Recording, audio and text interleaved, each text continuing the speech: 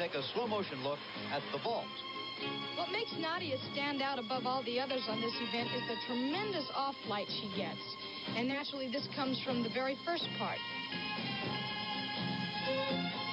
Fast timing off the board. She reaches the Hanson just at the right moment. Her hips drive to the ceiling. And a good tight tuck position.